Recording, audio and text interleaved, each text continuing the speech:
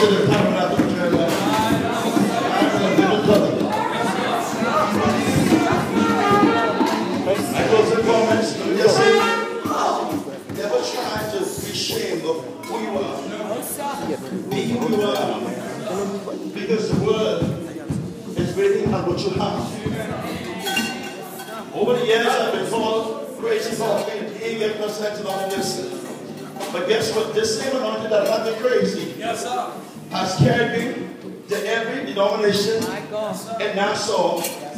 Amen. And now it's carried me, amen, to Montego. The same crazy anointing. Ain't nothing to do with this. Now listen.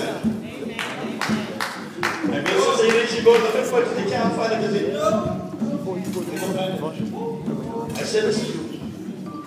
How many churches have people that preach, prophesy, and cast out demons? How? How much?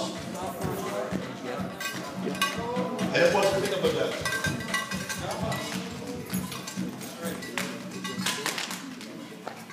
Some church they had a prophecy yet for the year.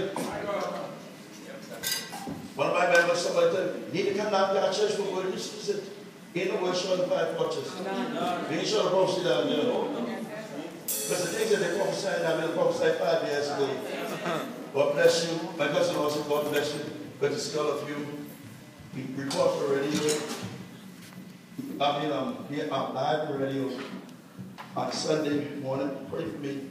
Also, next week, Friday, we have uh, Pastor Hernandez, uh, Bishop Hernandez, he's the international chaplain, church international chaplain. He, uh, from Orlando, Florida, he will be here. It's a big service. Um, you'll be hearing more about they come. We want to show you um, much love.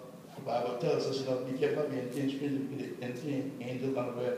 I said, I'm just looking for the angel, the angel in heaven. But going to have some really angels here. I didn't know what you're doing for them. You didn't know what door you opened for you. So we want you to please uh,